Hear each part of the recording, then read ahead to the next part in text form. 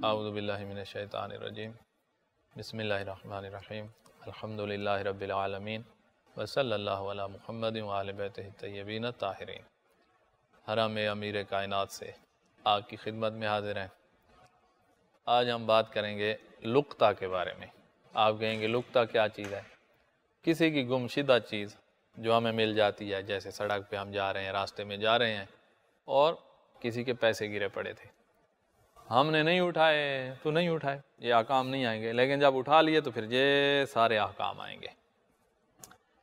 इसको हम लुकता कहते हैं। किसी को गुमशुदा चीज़ मिल जाए ये लुकता है। गुमशुदा। एक दफ़ा ऐसे है कि एक बंदे ने आ, मसलन किसी दुकान पर कोई चीज़ वो ख़रीदने लगा तो जो चीज़ सामान उठाया हुआ था वो उसने वहीं रख दिया। और वो चीज़ ख़रीदी और इसको भूल के चला गया। ये भूल के जा रहा है। ये गुमशुदा हम इसको नहीं कहते। गुमशुदा जैसे मसलन चीज़ गिर जाती है। उसमें उसने अपने इरादे से नहीं रखी है। वो चीज़ ही गिर गई है चीज़ ही गुम हो गई है बग़ैर इरादा के। तो ये जो गुमशुदा चीज़ है आ, ये हमें मिली है तो इसको लुकता कहा जाता है। इसके क्या अहकाम है? हम यहाँ ये पढ़ेंगे। ये पेश आने वाला मसला है। लुकता क्या होता है सवाल? और इससे के क्या अहकाम है? जब आप किसी आदमी को कोई गुमशुदा चीज़, किसी आदमी की कोई गुमशुदा चीज़ किसी को मिल जाए तो ये लुकता कहलाती है, गुमशुदा चीज़। और इसकी दो किस्में हैं, लुकता की दो किस्में एक लुकता ये होता है, गुमशुदा चीज़, कि उसके ऊपर अलामत नहीं होती। ऐसी अलामत कि जिसका ज़रिए से हम मालिक तक पहुँचें। मालिक को हम कह रहे होते हैं ना कि चीज़ तुम्हारी है तो कोई निशानी पता बताओ, कोई अलामत बताओ। वो अलामत बताता है तो चीज़ हम उसके हवाले कर देते हैं। इस तरह की कोई अलामत उसके ऊपर ना हो। जैसे एक हज़ार रुपये का नोट जो है वो गिरा हुआ है। उस नोट के ऊपर कुछ भी अलामत नहीं है। तो इस तरह के सैकड़ों नोट, हज़ारों नोट मुल्क में मौजूद हैं, जो एक जैसे ही हैं। तो यहाँ कोई अलामत नहीं है। तो ये है बग़ैर अलामत वाला। एक होता है अलामत वाला। अलामत वाले का और हुक्म है, अलामत ना हो तो और हुक्म अलामत नहीं है उसके ऊपर तो बेहतर ये है कि आप वो पैसे मालिक की तरफ़ से सदका कर दें। आपके ऊपर ये वाजिब नहीं है कि ढूंढें कि मालिक है, कौन है, कहाँ मिलेगा, कुछ भी वाजिब नहीं है। बेहतर यह है, एहतियात मुस्ताब ये है कि आप मालिक की तरफ़ से सदका कर लें। और अगर किसी ने सदका नहीं किया और ख़ुद खा गया है तो हम ये नहीं कह सकते यहाँ कि ये हराम है उसके ऊपर लिहाजा बेहतर ये है कि मालिक की तरफ़ से सदका कर दिया जाए। ये है बग़ैर अलामत वाला। पहली किस्म, नंबर एक, उस पर किसी किस्म की कोई अलामत और निशानी ना हो, जो चीज़ आपको मिली है, जिसके ज़रिए मालिक का पता चलाया जा सके। तो ऐसी चीज़ अलामत ना रखने वाली, जिस पर कोई अलामत नहीं है, को उठाने वाला अपनी मिल्कियत बना सकता है। चाहे उसकी जितनी कीमत भी हो, हज़ार है या एक लाख है। अगरचे, एहतियात मुस्ताब ये है कि मालिक की जानब से फ़कीर को सदका के तौर पर दे दे, ये एहतियात मुस्ताब है। तो लिहाजा, अपनी मिल्कियात बनाने से ये अच्छा काम है। गरीब का फ़ायदा हो जाएगा और उसको सवाब हो जाएगा, जिसके पैसे गिरे हैं। आप दरमियान से निकाल जाएँ, ये अच्छा दूसरी है कि जो जिसके ऊपर अलामत है। जहाँ से आप वो सारे मुश्किल मसाइल शुरू होंगे। अलामत है तो वो अगर उसकी कीमत एक दिरहम से कम है, अलामत है उसके ऊपर, उसकी कीमत एक दिरहम से कम है। एक दिरहम चांदी का होता था। वो चांदी का वज़न कितना होता था? दो इशारिया चार तीन छ ग्राम। दो इशारिया चार तीन छः ग्राम ये जो सुना रहे हैं, ज्वेलर, उनको पता चलता है कि इसकी कितनी कीमत बनती। दो इशारिया चार तीन छ ग्राम एक दिनाम होता था। तो इसकी जितनी चांदी की आज का रेट मालूम करें, हो सकता है ये पाँच सौ की बनती हो दो इशारिया, या हो सकता है पाँच सौ से कम बनती हो, ये अब आप जीवलार से पता कर सकते हैं, या वेबसाइट किसी पर देख सकते हैं कि चांदी का आजकल क्या रेट चल रहा है। तो दो इशारिया, चार, तीन छः ग्राम चांदी से उस चीज़ की कीमत कम है। तो उस पर अलामत है तो इस सूरत में मालिक को ढूंढना वाजिब नहीं है।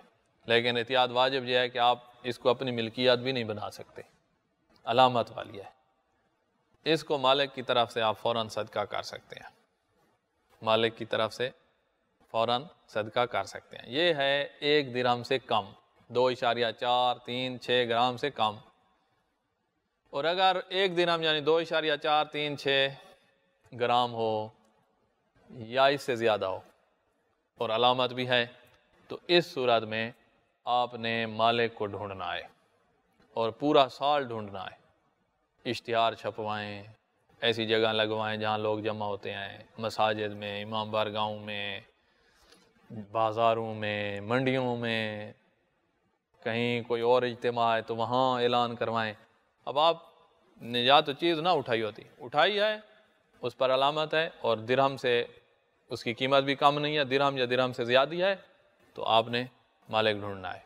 और ढूंढो पूरा साल पूरा साल ढूंढा पूरी मेहनत की है, दरमियान में कोई कोहताई नहीं किया है। मालिक नहीं मिला। तो अब, साल के बाद, अब उस चीज़ को आप मालिक की तरफ़ से सदका कर देंगे। तो लिहाजा अलामत वाली जो चीज़ आपको मिली है, उसको सदका ही करना है आखिर में। दिराम से कम है तो फ़ौर सदका कर सकते हैं। दिराम से ज़्यादा है तो मालिक को ढूंढना पड़ेगा। ना मिला तो साल के बाद सदका किया जाएगा। नंबर दो, ऐसी चीज़ मिली है जिसकी कोई निशानी हो तो ऐसी चीज़ की कीमत अगर एक दिरहम चांदी, दो इशारिया चार, तीन छः ग्राम से कम हो तो एहतियात वाजिब की बिना पर मिल्कियत में नहीं ले सकता। आप मिल्कियत में नहीं ले सकते। अगरचे ऐलान करवाना ज़रूरी नहीं है, ये दिरहम से कम है, बल्कि मालिक की तरफ़ से सदका कर दे, यानी फ़ौर सदका कर सकते हैं। और अगर चीज़ की मिल्की, मालियात दिरहम या उससे ज़्यादा हो तो फिर ज़रूरी है कि एक साल तक हर ऐसी जगह पर ऐलानात करवाए। जहाँ उम्मीद हो कि उसके मालिक तक ख़बर पहुँच जाएगी। जैसे आजकल फेसबुक है, इन को भी इस्तेमाल करना चाहिए अच्छे कामों के लिए। बदबख्त है वो बंदा जो ये सोशल मीडिया वगैरह को बुराई के लिए इस्तेमाल कर रहा है। और आजकल सबसे ज़्यादा झूठ, गीबत, बहतान, लड़ाइयाँ, झगड़े इसी पे हो रहे हैं। एक बंदा आया इमाम की खिदमत में कि आपके शिया तो आपस में लड़ाई शुरू किए हुए हैं। एक दूसरे से बरात कर रहे हैं। हमारा इनसे कोई ताल्लुक नहीं है। जैसे आजकल फेसबुक में दाखिल हो तो इंसान वहाँ बर्दाश्त नहीं कर सकता। एक दूसरे को मुनाफे को मोमिन। वो भी मोमिन, वो, वही एक जन्नत में जाना है। कोई अलहदा अलहदा जनते नहीं है। एक जन्नत में जाना है। अपने दिलों को क्यों पलीद कर रहे हो? गीबत करके, झूठ बोल के बोहतान लगा के। फुला मुनाफे का फुला का तशद कोई ताल्लुक नहीं है। तुम कोई इतने बड़े आ गए हो कि तुम ये फैसले करते हो? हाँ उसने कोई ऐसी बात की है कि शिया के अकायद को मिलिया मेड कर दिया तो फिर तो वो खुद ही निकल गया है।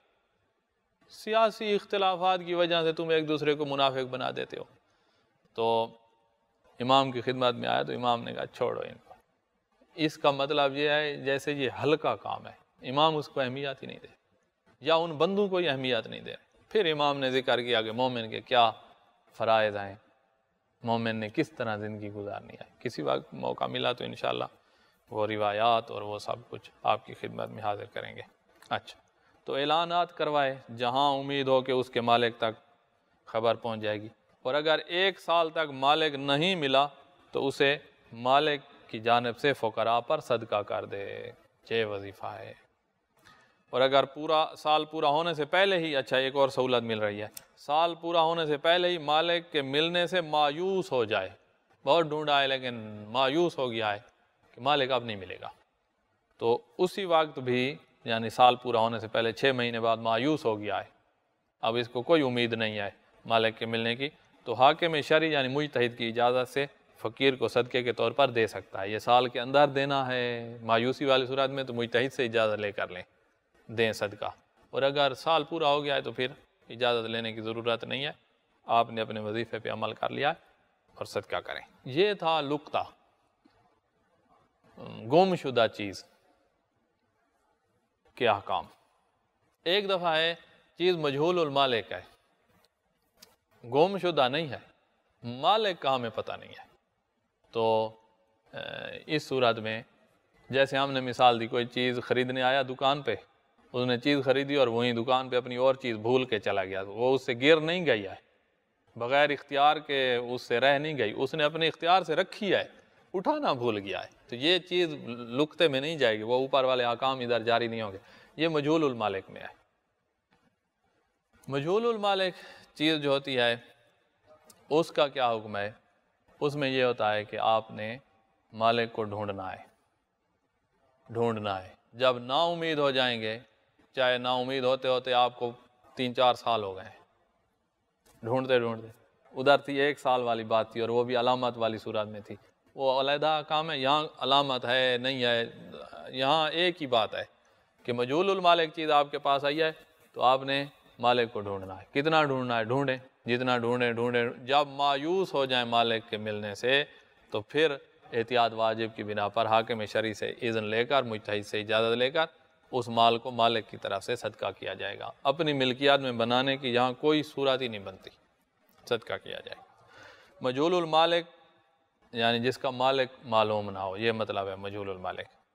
का माल क्या होता है और उसका क्या हुक्म है? जवाब, किसी के पास ऐसा माल हो जो किसी दूसरे का हो। गुमशुदा शुमार नहीं हो, यहाँ गुमशुदा की बात नहीं हो रही। और उसका मालिक मालूम ना हो तो लुकता के अलावा ये लुकता में दाखिल ना हो रहा हो, गुमशुदा और आपने उठाया, ये वाली बात नहीं है। लुकता के अलावा किसी और तरीके से इसके पास आया हो, यानी आपके पास आया है वो माल तो ये मजहूल मालिक का माल कहलाता है। और ऐसे माल के मालिक को तलाश करना और उस तक पहुंचाना माल को ये वाजिब है। और जब तलाश फ़ायदा मंद होने का जब तक तलाश के फ़ायदा मंद होने का अहतमाल अफन, जब तलाश के फ़ायदा मंद होने का अहतमाल ही ना रहे, तलाश करूँ तो कोई फ़ायदा होगा, इसका अहतमाल ही ना रहे तो तलाश वाजिब नहीं है। मालिक को ढूंढना वाजिब नहीं है। लेकिन माल अपने पास आप रख लें। जब तक मायूस नहीं होते मालिक के मिलने से, माल को अपने पास रखेंगे। जब मायूस हो जाएँगे, उस वक्त हाकिम शरी से इजाज़त लेकर सदका किया जाए।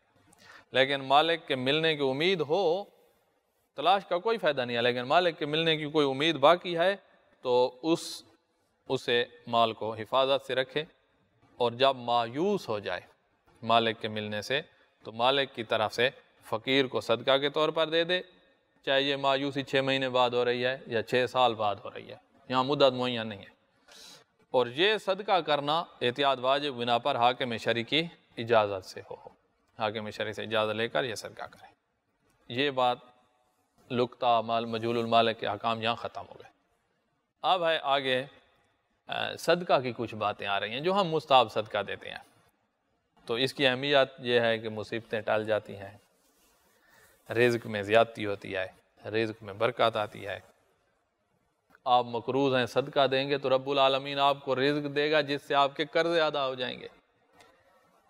और आने वाली अमराज से इस, ये सदका जो इंसान की हिफाजत करता है। अभी अमराज आई नहीं हैं, बीमारियाँ नहीं आई हैं, सदका दिया है आपने तो ये सदका आपकी अमराज से हिफाजत करेगा। इसके बहुत से फ़जाइल रिवायात में आपको मिलेंगे। रिवायात मासूमीन में सदका की बहुत ज़्यादा अहमियत बयान की गई है। मसला रिवायात में आया है कि सदका मर्ज़ की दवा है। बीमार बंदा सदका दे, रब्बुल शिफा दे। सदका से वो मुसीबतें भी टल जाती हैं। रिज्क में सदका से मुसीबतें टल जाती हैं। रिज्क में इजाफ़ा होता है, बरकत पैदा होती है, कर्ज अदा होते हैं, बुरी मौत से इंसान बच जाता है बड़ी बड़ी बीमारियों से महफूज रहता है। रिवायात को आप देखें तो खुशकस्मत हैं आप जिनको अहल बैत ने जो चीज़ हकीकत में है उसी की खबर दे दी है। खुशकस्मत हैं कि अल्लाह ने आपको ऐसे इमाम अता किए हैं। और गरीब के हाथ में जाने से पहले सदका अल्लाह ताला के हाथ में जाता है। ये सदका की फजीलत में बाद रिवायात का ख़ुलासा है। सदका के अहकाम और आदाब क्या हैं? जो हम मुस्ताब सदका देते हैं, उसके अहकाम क्या हैं?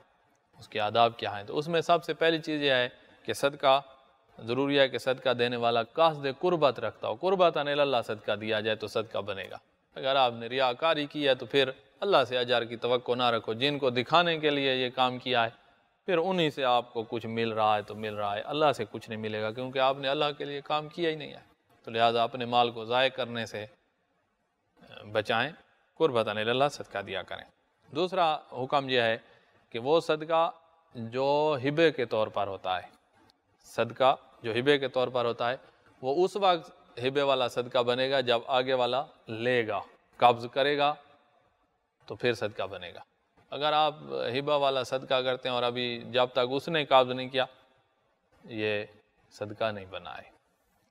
तो आगे वाला कब्ज़ करे, ले, उस वक्त सदका बनेगा, ताकि सदके वाले फ़ायदे हों, आपको अमराज से बचें, मुसीबतों से बचें, वगैरह वगैरह। अगर वो सदका हिबा के तौर पर हो तो गरीब का, फ़कीर का उस सदका को कब्ज़ करना ज़रूरी है। उसके कब्ज़, यानी लेने के बाद सदका शुमार होगा। तीसरी बात, यहाँ इस तीसरी में ज़िक्र कर रहे हैं कि ज़क़़त गैर सैद की सैद पर हराम है। हमने पहले बयान किया फ़ितरा गैर सैद सैद को देते ये हराम है। तीसरी चीज़, एहतियात वाजिब बिना पर जो हराम शुमार की गई है, वो है थोड़ी मकदार में सदका देना। गैर सैद का सयाद की बात हो रही है। सयाद सयाद को दे, इसमें कोई मसला नहीं। गैर सयाद सैद को सदका दे थोड़ी मकदार में, जो मुसीबत को टालने के लिए हमारे घरों में थोड़ी सी मकदार सदक़े के तौर पर दी जा रही होती है। मसलन पाँच रुपए जैसे हम फ़कीर को देते हैं, सदक़े के तौर पर दस रुपए देते हैं। ये किसी सैद को दें जिससे ज़िल्लत ज़ाहिर हो रही हो सैद की तो ये एहतियात वाज बिना पर ये सैद के लिए लेना जायज़ नहीं है। आप एहतियात वाज बिना पर उसको दे नहीं सकते। तो ये तीन चीज़ें हो गई। ज़क़़त नहीं दे सकते गैर सैद फ़ितरा नहीं दे सकता गैर सैद सैद को, और ये थोड़ी मकदार सदका जिसमें एक किस्म की एहानत बन रही है, एक किस्म की ज़िल्लत नज़र आ रही है, उस सैद की ये भी ना किया जाए।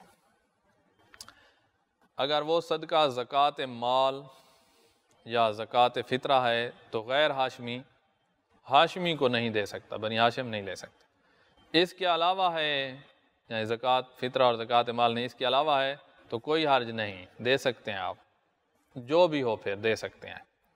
अलबत् लेकिन एहतियात वाजिब है कि वो थोड़ा सा माल जो दफ़ बला के लिए दिया जाता है, जिससे तजलील नफ्स होती है, कोई ज़िल्लत महसूस होती है, थोड़ा जो है इस वजह से तो वो सादात को ना दिया जाए। अच्छा। अब आपने सदका दिया है किसी गरीब को। वो जो हिबे के तौर पर दिया जाता है और उसने भी आगे से कब्ज़ कर लिया है, सदका बन गया है। इसको आप वापस नहीं कर सकते। नहीं कर सकते। सदका ना होता, ऐसे ही हिब्बा होता और वो आगे आपके रिश्तेदार जो अरहाम हैं, उनमें से ना होता तो आप वापस कर सकते थे। लेकिन ये हिबा बतौर सदका है तो इसको आप वापस नहीं कर सकते। दिए हुए सदका जब हिबा मकबूजा हो, यानी हिबा वाली सूरत है और उसने कब्ज़ आगे कर लिया है तो वापस नहीं किया जा सकता। अच्छा अब क्या ज़रूरी है कि सदका गरीब को ही दिया जाए? का मुस्ताब सदक़े में ये ज़रूरी नहीं है कि गरीब को ही दिया जाए। अमीर बंदे को भी मुस्तहब सदका आप दे सकते हैं। मोमिन नहीं है, काफिर है, उसको भी मुस्तहब सदका दे सकते हैं। मुस्ताब सदका हर एक को दे सकते हैं। अगर मुस्ताब सदका है तो काफिर हरबी जो हालत जंग में उनको भी मुस्ताब सदका दे सकते हैं। मुखालिफ मुसलमान यानी शिया नहीं है, उसको भी दे सकते हैं। या मालदार शख्स है, उसको भी दे सकते हैं। खुलासा ये कि सदका मुस्ताब जो है, वो हर इंसान को दिया जा सकता है। भाई, इंसान हो। मस्जिद को सदके नहीं दिए जाते, इमाम बारगाह को सदके नहीं दिए जाते। फ़ी आप दें, सवाब है, लेकिन सदका जिसको हम कह रहे हैं, वो इंसान को ही दिया जाएगा। अच्छा। चाहे इंसान अमीर हो, गरीब हो, मुसलमान हो, ना हो, दे सकते हैं। मुस्ताब सदका। अच्छा मुस्ताब सदका छुपा कर देना अफजल है, और वाजबी सदका, ज़क़़त, फ़ितरा, इसको अलान दिया जा सकता है। इसको अलान देना वाजिब अफजल है। ताकि दूसरों को रगबत हो मुस्ताब सदका छुपा कर देना अफजल है, और बाद रिवायात में है कि वाजिब सदका, ज़क़़त और फ़ितरा ज़ाहिर करके देना अफजल है। अच्छा अपने अहल वयाल को रिज के लिहाज से वसात देना, माली लिहाज से, खाने पीने के लिहाज से रिहाइश के लिहाज से आसाइश के लिहाज से, अपने अहल वयाल को वसात देना, तंगी से निकालना, ये तंग हालात से निकाल कर आसानियाँ पैदा करना, ये सदका देने से अफजल है। और सदका जब देना है तो अपने रिश्तेदारों को सदका देना, रिश्तेदारों के अलावा से अफजल है। अपने अहल वयाल पर खर्च करना सदका से अफजल है और अपने मोहताज रिश्तेदारों को सदका देना गैर को दूसरे लोग जो रिश्तेदार नहीं हैं, उनको सदका देने से अपने रिश्तेदारों को सदका देना अफजल है। आठवीं बात यह है कि कोई सवाल ही आपके दरवाजे पे आ जाए, चाहे आपको अहतमाल है कि ये बंदा अमीर है, इसको ज़रूरत नहीं है। सवाल ही जब बन के वो दरवाजे पे आया है तो उसको खाली लौटाना ये मकरू है, गुनाह नहीं है। आप कहेंगे, जी, वो पेशावर है और वो अमीर है। और तो फिर भी जब आपके दरवाजे पे आ गया आप खाली लौटाना, ये मुनासिब नहीं है, ये मोमिन की शान के साथ मुनासिब नहीं है तो कुछ ना कुछ देकर उसको ही रवाना करें। आप अहल बैत, आइमा मासूमीन की सीरात को जो भी आया है सवाली बन के, वो यहाँ से खाली नहीं जाता।